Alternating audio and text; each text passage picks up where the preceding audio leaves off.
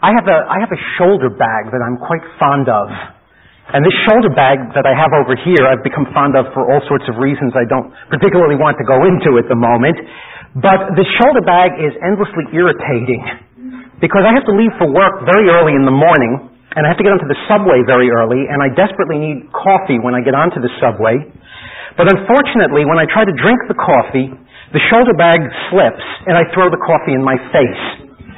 Now, I'm so attached to this shoulder bag, and I refuse to put it down, that it seems as though every morning I'm spilling this coffee all over me uh, by the action of letting the thing slip and throwing it in my face.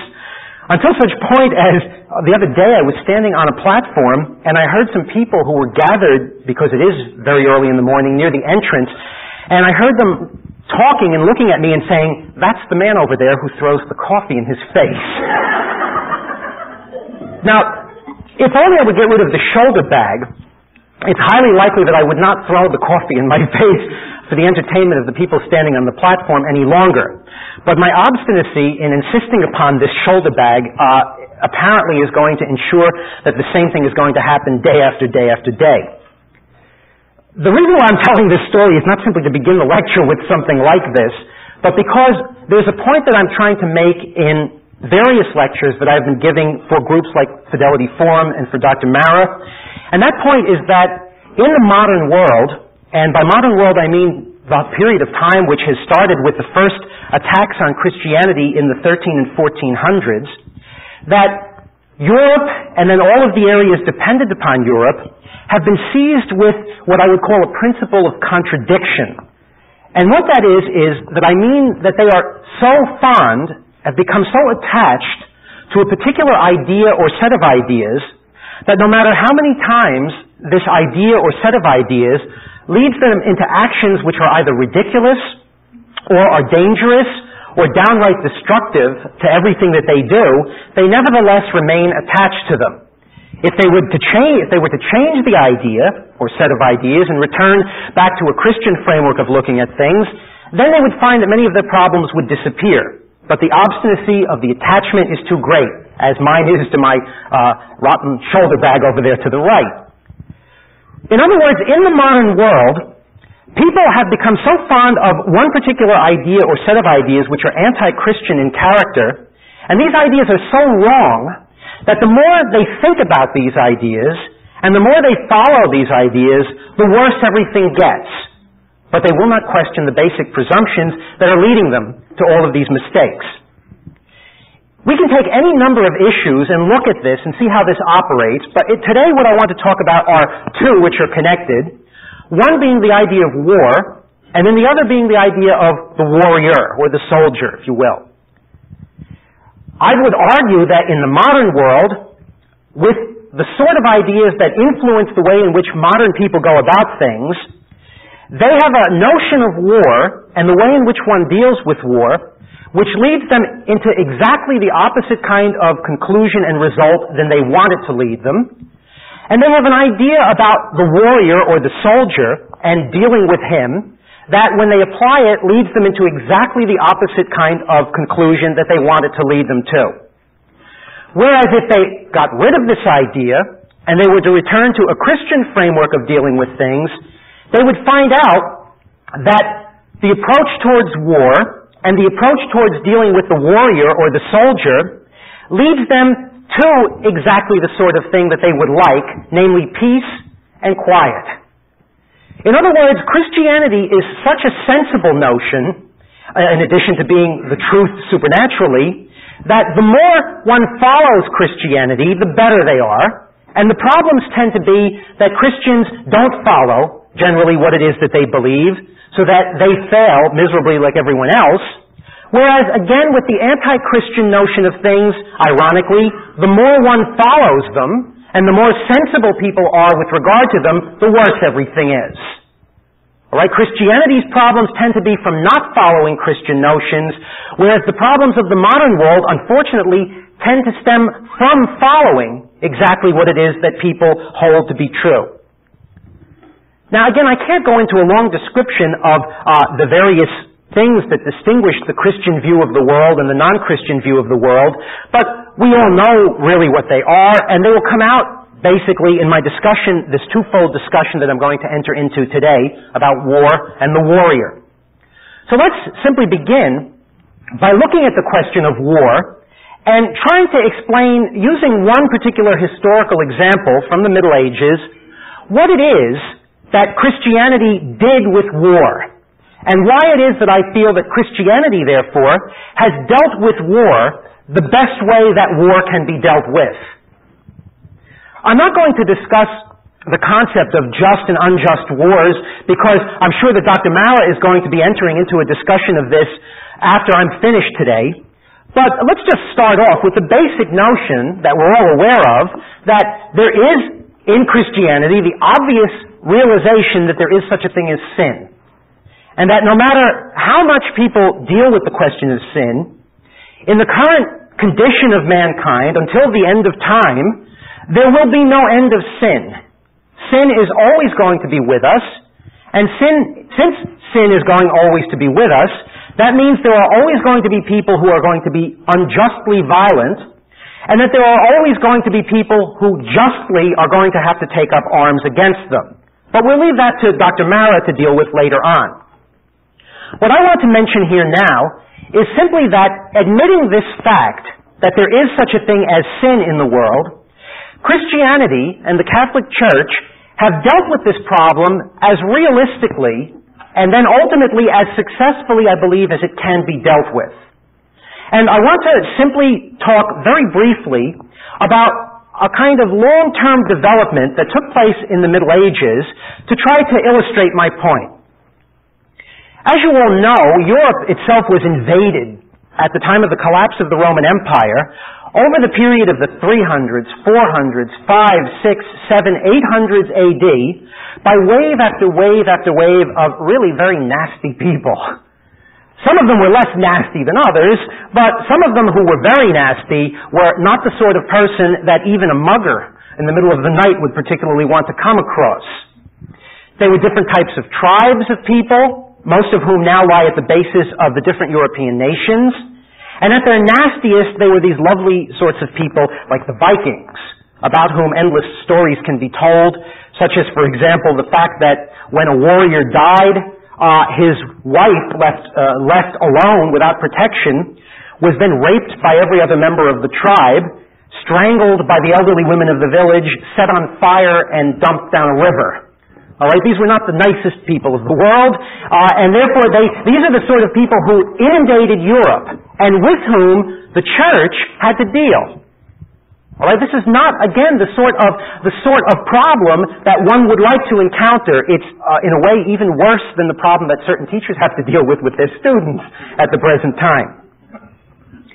Now, the point I want to make is the following: when these warriors, when these soldiers from different barbaric tribes poured into Europe, these, these warriors did not know how to run a government.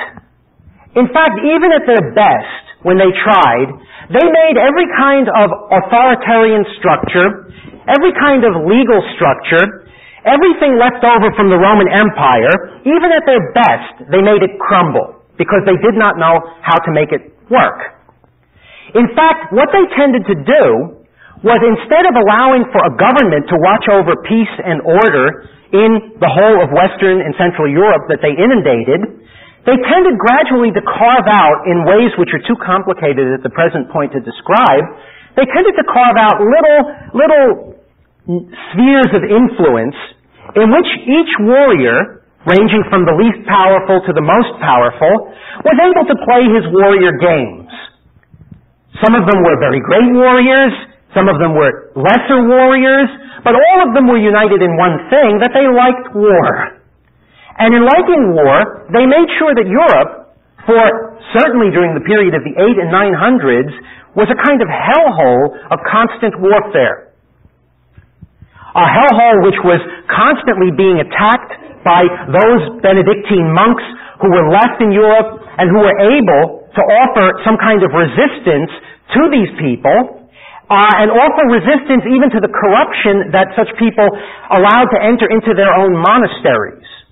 You might know that, for example, a lot of these warriors need land on which to survive and to get enough surplus to be able to provide themselves with a horse and a suit of armor and a sword. And the church had land, and oftentimes what they would do is they would run into a monastery that had land attached to it and announce to the monks that they had been given a new abbot, Abbot Igor or Abbot Spike or whatever abbot uh, might come from among this tribe of warriors, who is now going to be looked upon as the supposed enforcer of the rule of Saint Benedict, but who is really simply going to look upon the monastery as a giant means of providing an arsenal for war. So that there was constant warfare from France down to Italy, through Germany, in bits of England. Certain parts of Europe managed to escape this, but the bulk of what becomes the cradle of the Middle Ages and medieval culture was devastated by it. Now, eventually, in one of the most brilliant transformations from a period of despair to a period that built the brilliant culture of the Middle Ages, the church managed step by step to pull itself together. And it managed step by step to do this chiefly through the activities of monks who somehow found a kind of magic formula to unite what had previously been independent monasteries, very weak on their own account together into one firm whole, which, because of the sanctity of the monks that lived in these monasteries, created enough of an enthusiasm and respect in the poor, trampled upon population of Europe, and even the poor, warring, constantly warring uh, soldiers or warriors that had come in from the outside of the Roman Empire, they had managed so to impress them and so to inspire respect in them that these monks, starting from a small kernel of one or two monasteries, gradually reformed the monastic life of Europe and saw their influence extending down to reform bishops and even popes who had fallen on very nasty days at the same time period, so that Christianity, by the late, by the 1000s and 1100s, began to shine forth in its older glory and see its mission to civilize these barbarians much more clearly. Now this really leads me to the specific aspect that is of concern in this section dealing with war today. The realistic way in which the church, once it had put its own house in order and staved off the corruption that the encounter with these people had uh, really inevitably caused it, what they did, what they tended to do was something like the following. If we had a monastery which had began to gain, begun to gain a reputation for having holy monks in it, this monastery in a given area of Europe would become a center of pilgrimage. Let's say on a, uh, any major feast day of the year, but let's take an Easter or a Christmas.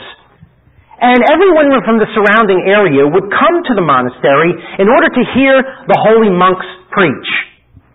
So there would be a mass, and there would be a festival, and there would be at the Mass, listening to the sermon, the bulk of the common people, the clergy, and then also these warriors who were present, who were entertaining themselves by continuously fighting and causing trouble for everyone around them. Then these monks would stand up there and give a sermon such as the following. What is authority? Authority is something that has come down from God. What is that authority supposed to do? It is supposed to provide for the common good. Who is it who holds authority over us at the present time? These bums over here. Right? Are they doing what they're supposed to be doing in order to hold authority over us correctly? No. They're raping, they're looting, they're burning, they're destroying any kind of peaceful life which is needed not only for agriculture, it's not only needed for merchant activity, it's also needed to be able to pray properly. And it's destroying their souls as well. So if I had any ability to influence these people over here who are going to rot in hell, if they don't continue, the, if they don't stop this activity, if I had any way to influence them, I would certainly make it clear that I am not pleased with this at all. So what would tend to happen at these gatherings is that the serfs, knowing that the, the, the peasants or the other people gathering, knowing that there was going to be a, a call for peace, a call for settling down, a call for doing with authority what authority ought to do, These people would appear usually waving branches, olive branches if they could get them, uh, branches of willow trees, branches of any kind of, of, of tree, and crying out, peace, peace. Now, let's go to these warriors over here who were standing off to the side. Some of these warriors were themselves impressed by the preaching. Some of them.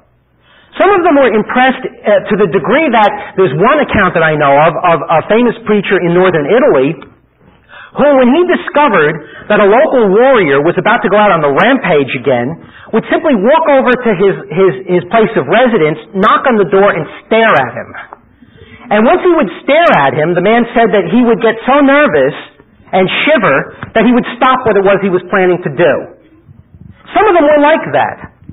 Some of them were, were so much like that that in fact it was a warrior like this who first allowed the little niche in which Benedictine monks could begin the whole effort at trying to reform themselves and put monastic uh, life in order. There was one man who allowed them a little monastery and space of land where he did not bother them at all in France to do this. But the bulk of them were just like bombs anywhere, in the sense that they did not want to hear what they were preaching. They had no intentions of following what they were preaching. But lo and behold, they knew that there was no honor among thieves to a certain degree. And they knew that this preaching could convince one of the other warriors who was there of something like the following. He could say to himself, my goodness, he could say, the next time that my friend over here goes on the rampage, and acts up in a way that displeases the monks who have such an influence over the population here, why should I have that monk's influence and the population's hatred aimed at me when I can stand up and say, I will defend the cause of the peace against this evil man who has not listened to your wonderful words, even though he has no intentions or, uh, of following them if he, ha- if he could get away with it in his own right.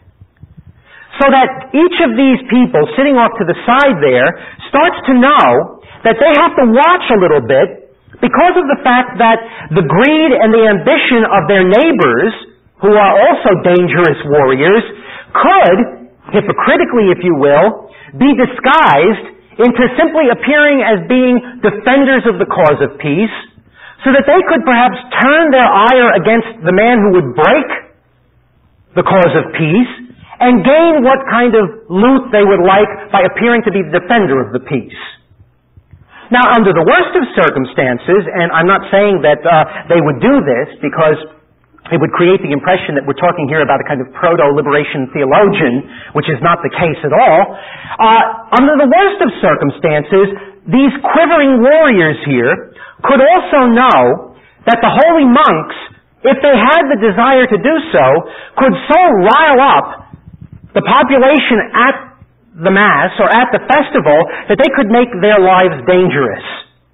Now these monks did not want to do that. These monks wanted authorities to act the way authorities ought to act, properly for the common good, but nevertheless there was always that knowledge that that could happen. So what tended to take place all through Europe, starting in the late 900s and in the 1000s, was that at ceremonies such as I have described, the monks would make these warriors take an oath. And they would take these oaths in groups, and the oaths were called either things like the truce of God or the peace of God. And in these oaths, these people did what modern people tend to think is rather silly. Because rather than saying, I will not fight anymore, the monks made them take an oath like the following. They would make them take an oath that they would not harm people who were not themselves engaged in fighting. They would not harm the clergy, or merchants, or peasants, or women, or anyone who was helpless in any way. That they would limit their fighting so that they would not fight during Lent, or Advent, or on major feast days, or as time came about, I think it was something like from Thursday evening until Monday evening. So that the purpose of their, their, their, their whole approach was to try to limit warfare, to subtract certain groups of people from the warfare. And if these people want to slug it out, let them slug it out among themselves.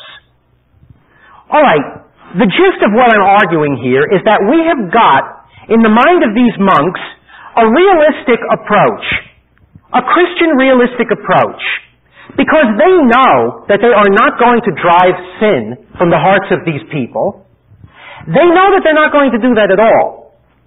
They know that they're not going to be able to attract everybody by a kind of perfect contrition to fighting for, to, to, um, to stopping their warfare, but they will attract some so that they keep the idealism of their message going. But they also know that realistically, they can have each one check the other. They can have each warrior watch over the other. And they can limit the times and the places and the brutality of all of the conflicts that are taking place.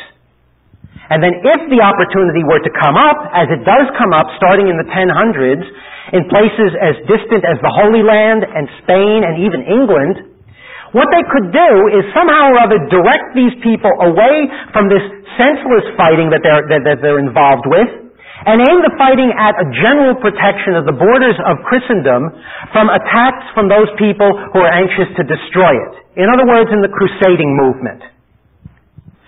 Alright, now, in contrast to this, in contrast to this, in the modern world, where we have this principle of contradiction at work, where we have the people who are attached to an idea as silly as my insistence upon carrying my shoulder bag with me, even though I throw the coffee in my face every morning, where we have this principle of contradiction and anti-Christian view predominant, we have people who insist that there must be some way to do away with sin entirely. And in the minds of these people who are aiming to do away with sin entirely, the idea of realistically limiting war, the idea of realistically aiming warfare onto a purpose that might be good as, a purpose, as opposed to a purpose that is intrinsically evil doesn't enter into their heads. Because all sin must end. The key to ending all sin must be right at our fingertips. And they are insistent that they are going to find it. The result has been that the modern world has been filled with more and more and more destructive wars that have dragged in more and more innocent people have dragged in more and more property damage uh, as well as lives, and have ended up by destroying both the victors and the vanquished. One has only to really look to see the kinds of wars and the kinds of weapons that people who have been um, fanatically attached to the idea that war could come completely to an end have been responsible for.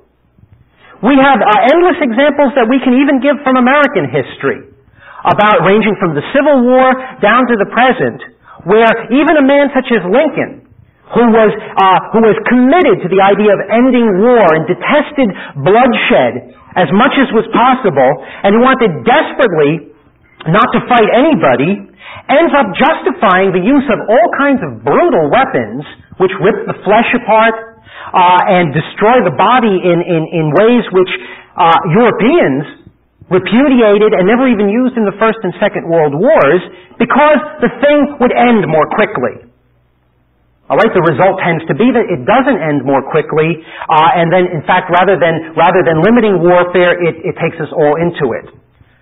The First World War is another instance of this in which we entered the war supposedly to end all wars, and as a result of ending a war to end all wars, we in a way helped engender more bitterness and more anger at hypocrisy that helped to create certain preconditions for the next outburst, which was ended by the use of another weapon, uh, which was supposed to perhaps end the war more swiftly, uh, which devastated a country which we then immediately began to want to rebuild, to build uh, a weapons force to fight off the other force that came into the picture, which was supposed not to be there as a danger because we were going to bring sin and wars to an end with the Second World War.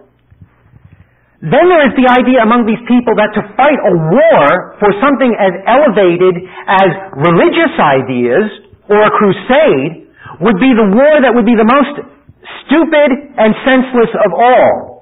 Because to fight for something that is itself supposed to protect a religion of peace like Christianity seems to these men to be a contradiction in terms.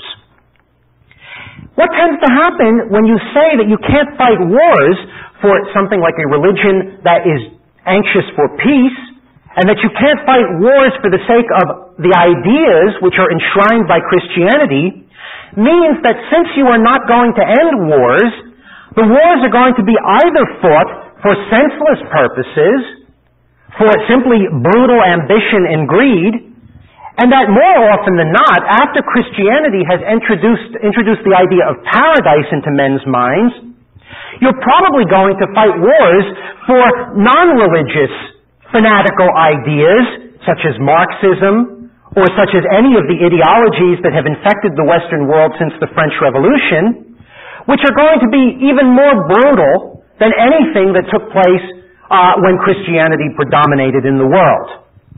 So that ending wars entirely, when there is such a thing as sin, leads usually to its opposite, and not fighting wars for the only purpose, which it seems to me that you could find a justification for, for protecting the peace, and for protecting what brings the message of salvation into the world, leads you to fight wars for mad purposes, or for utterly fanatical purposes, such as Marxism, or something uh, similar to it.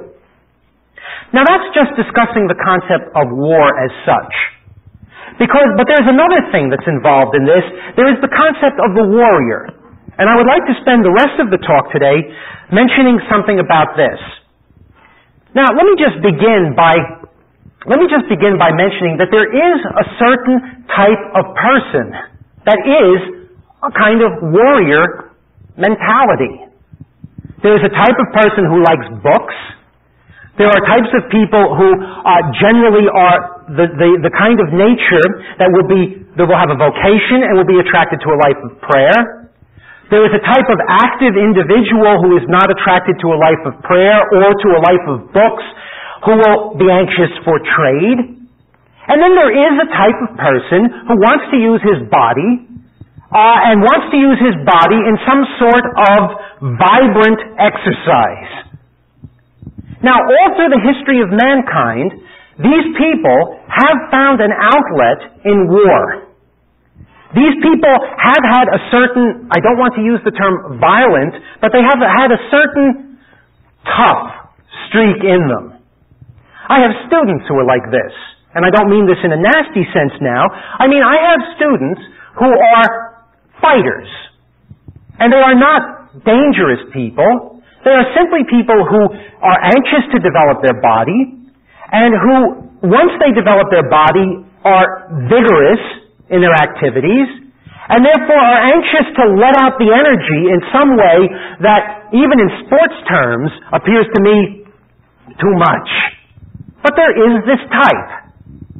What are you going to do with this type? Are you going to tell them they can't exist? Well, this is hard. Because all through human history they have existed. And as we'll see in a minute, if you tell them they can't exist, you don't get rid of them. You simply transmute what it is that they do into something else, which is dangerous in the same way that when you try to end war entirely, you don't end war, but transfigure it into something which is more dangerous and senseless. Now let me go back to these people who invaded Europe in the 400s, 500s, 600s, 700s, 800s AD, the various tribes of Germans and the Vikings. When these people gave an indication or an illustration of what a warrior type was like, they thought about it only in the following terms. A man who is a warrior is a man who can handle a horse properly. A man who is a warrior is a man who can sit on a horse properly, fight properly on a horse, and take care of his horse properly. In fact, the whole word that ultimately then is changed in meaning by Christianity to indicate the way of life of these people comes from this fact. That horse in one of the Germanic language, uh, the, the tribe's languages, the tribe of the Franks, the word for horse is cheval. The way of life of the horseman is chivalry or chivalry.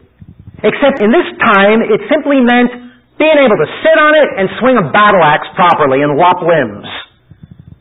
Now, even in the way in which a man was recognized by the tribe as a warrior, you saw this roughness. Because all that would happen if a man had done a good job, a young boy, let's say, had done a good job on his horse, is that the chief of the tribe would come over after the, the battle was over and give him a big smack on the face. and say something which, uh, figuratively translated, means you're a tough one. All right, which means he would be accepted as a warrior. What does one do with this? Do you tell them no, no longer? It's time for you to go to the public library? Do you tell these people that it's time to simply go swinging on ropes or playing football? They're not the sort.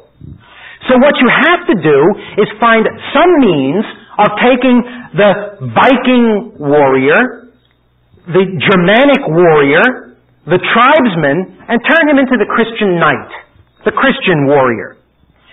You have to find a means of taking chivalry, which means simply the ability to swing a battle axe properly, and rape and loot, you have to take that and transform it to the point where it means chivalry in the sense that most of us in the room probably know the term. You have to take that and transform it into the kind of thing which is ultimately described starting in the 1000s and through the 11, 12, 13, 1400s in a type of poetry which was known as the chanson de geste, all right, the song of the deed. Poems which described how it is that a Christian warrior ought to act.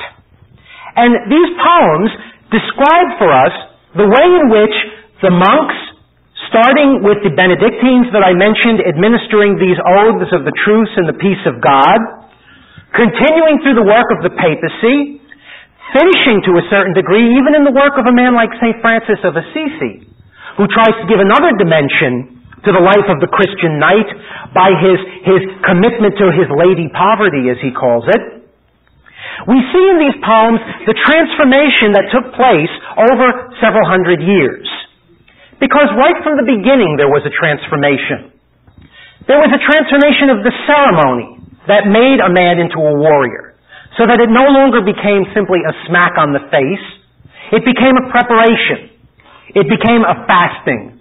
It became going to a mass. It became saying prayers. It became a sort of uh, ascetic preparation, which ultimately then led to a man being declared a warrior within the context of a Christian ceremony, in which he would kiss the Gospels, in which he would swear a more elaborate form of the original truce of God and peace of God, in which he would declare that he would protect the weak, that he would protect women, that he would protect the church and merchants and the peasants and others.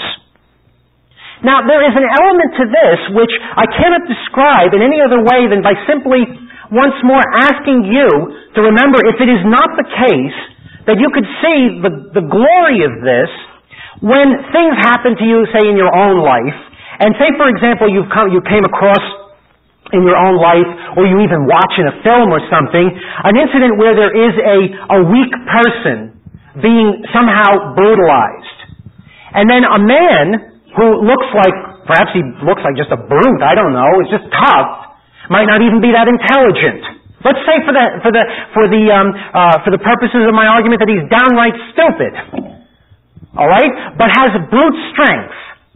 What a glory there is when, say, you see in your own lives or you watch in a film, a man like this willingly submit his own intelligence and brute force to the cause of the defense of this person who is weak. So that what in itself would be a horror if you saw the stupidity of this man leaping onto someone and beating his brains out, in a way becomes something which, which evokes in you a pride and a desire to want to shout for joy because you see him defending the person who can't defend himself. This has happened to all of us. Uh, whether when a child, when seeing somebody who is stronger protecting a weaker person, or as I say, well, even when you see somebody coming in to save threatened individuals from evil people, whether criminals or whatever. And that is what is happening and being enshrined here in this concept of the development of the Christian knight. Now, I mentioned that all of this is described in poetry, in this type of poem called the chanson de geste. And you, you all know what these poems are, even if perhaps you don't know the term. They're poems like King Arthur and the Knights of the Round Table. They're poems like El Cid. They're poems like the Song of Roland, which describes the way in which Charlemagne's army is dealing with the Saracen, the Muslim Saracens coming up uh, through Spain uh, after one of Charlemagne's efforts to try to deal with them did not work. All of these poems tend to depict the Christian knight but now, in a way, indicative of a certain change which has taken place, which is even more significant, than, well, maybe not even more significant, but also instructive in what I'm trying to describe here. That we have poems like King Arthur and the Round, Knights of the Round Table discussing the way in which a King Arthur and Sir Lancelot and others behaved in the 500s AD. Now, we're talking about literature which is usually written in the 11 and 12 and 1300s and 1400s AD. What does this demonstrate? This demonstrates that the Christian knight, or the Christian man knowing what will appeal to the Christian knight in the 11, 12, 13, 1400s, is aware of the fact that he does not want to hear any longer that his ancestor in 500 was not the sort of man that is depicted in this chanson de geste. He wants to make believe that his great, great, great, great, great ancestors had the same Christian ideal that he does. And the literature describes this then. This is extremely significant. It's significant because it demonstrates the fact that the Christian warrior now has become a man who has a certain model for his behavior. And again, that model ranges from taking the oath to protect the truce and peace of God to considering as a symbolic gesture of merit spending your time as a warrior going on the search for the chalice that Christ used at the Last Supper. Because he's got that model, and because he is embarrassed at the behavior of the warrior before he became baptized in a way, we have taken then an immense step towards limiting and guiding warfare. Why is that the case? Not because of the fact that these people, these Christian knights, are once more going to live up to what the image is that they ought to do for most of the time. Because just like human beings everywhere else, uh, many of them are hypocrites.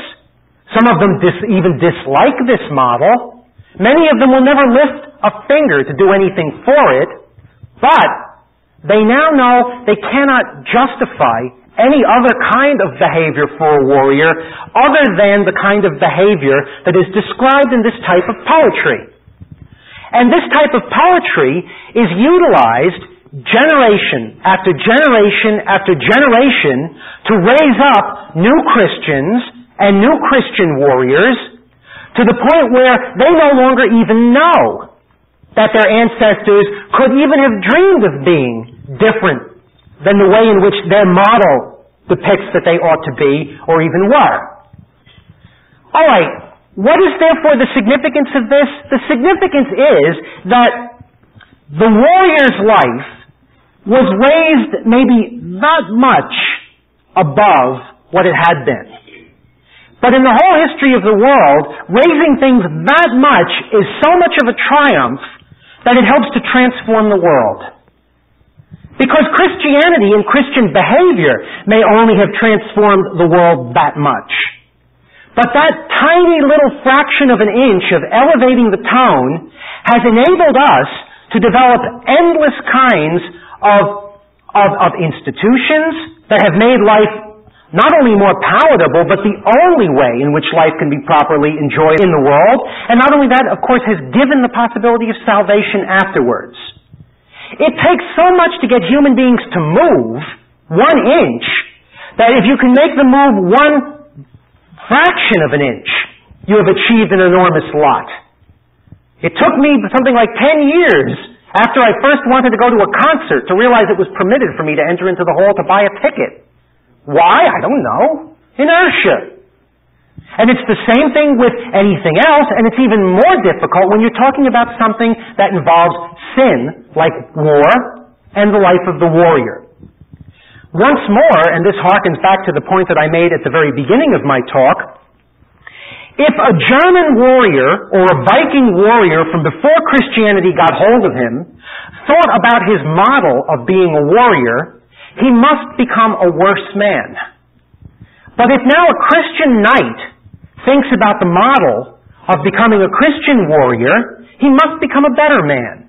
And everything lies in that. Just as everything lies in that with Christianity as an idea, as opposed to all of the hypocritical, contradictory, and I would say because they're contradictory, demonic ideas that have seized hold of the Western world since the decline of Christianity. Now that brings me then to this point, and I'll be closing up really with this, really. Well, there's one, uh, one concluding image I want to give to you to conclude with, but let me just finish this point here. What happens when you deal with the way in which the modern world would like to deal with the warrior? And that is abolish him entirely. Abolish the type of the soldier entirely. Ridicule the type of the soldier entirely. You can't do it. And as a result of trying to do it, you get one of two possibilities. You get either the possibility that the soldier type starts to realize that he is outside of the law. And in being outside of the law, he has no rules. And in being outside of the law and having no rules, he can now once again do anything. This is part and parcel in a way of certain aspects, certain aspects I say here, of the fascist mentality.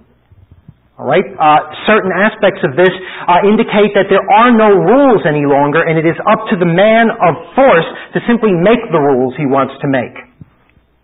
Now on the other side, I would say that by trying to deny the type of the warrior, you also, in a funny sort of a way, get the complete degrad- you get a continued degradation of society. Now, how does that happen? In the following fashion. The Middle Ages, in its, its glory, understood that there has to be a class of people to protect certain ideas with the force that only an institution and a class of people with certain traditions in common can do. So that there was a class of merchants who protected the hard-hearted need for making figures properly, for supplying people properly, and for trying to achieve prosperity. There was a class of people in the clergy who were devoted to the supernatural that reminded everyone that this hard-hearted merchant type activity was not the only thing that there was in life, that there is the supernatural, which is the ultimate important thing. And then there was the warrior, enshrined in the noble class, who told people that there is such a thing as glory. Now there's all problems with that word that I can't go into here, but nevertheless, we all know that there is such a thing as honor. And there is such a thing as glory. And there is such a thing as, as, as meaningful activity on the part of the government in protection of its citizens or whatever, which, if you destroy this class, will not be protected, even by the clergy to a certain degree. So that the result of the medieval understanding of this was to give each of these three, with the church at the top, a force that made everyone aware that a human life was a combination of, first of all, direction from the supernatural, secondly, understanding that a human being was a creature that had to seek honor and glory. And then thirdly, that you also had to take into account the hard-hearted facts of daily living. But you get rid of one of those groups, the other two cannot really make it on their own.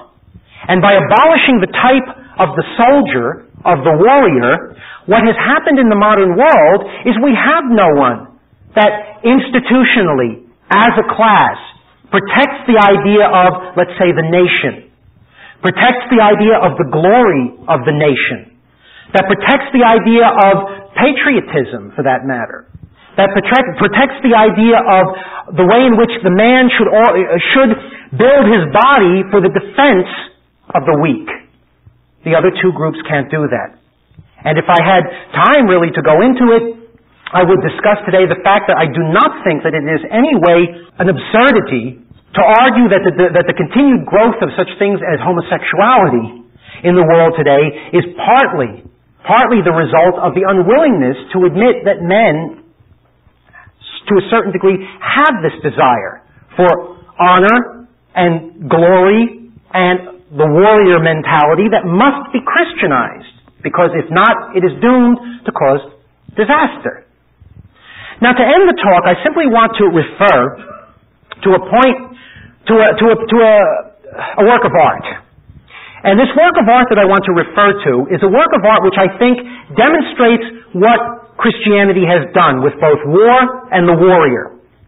And that work of art is a work of art by a German artist, Albrecht Dürer, who uh, made many engravings, certain paintings, and the like in the early 16th, late 15th, early 16th century.